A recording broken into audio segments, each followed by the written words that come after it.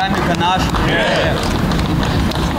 Разыгрывают мяч перед стартом игры. Сегодня встреча футбольных команд спортивной школы Одинцова и керамики из Голицына.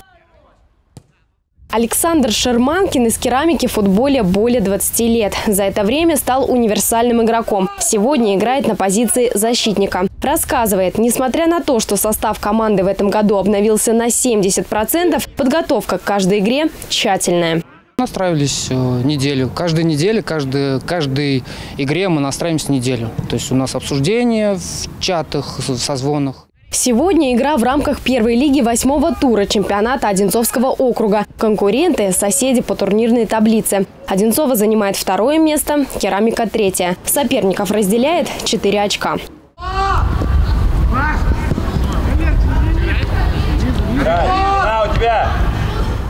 Первая половина тайма напряженная. Во второй одинцовцам удалось открыть счет и уйти на перерыв с преимуществом. Капитан команды Одинцова Виталий Малимон подчеркивает, тренерскую установку по первому тайму выполнили.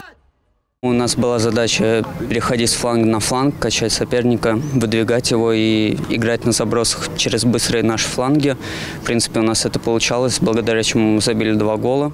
До конца игры преимущество было на стороне хозяев. Матч завершился со счетом 5-0. Ну а посмотреть игры и поболеть за любимые команды Одинцовского чемпионата может любой желающий. Лада Дудко, Андрей Безуглов, телекомпания «Одинцова».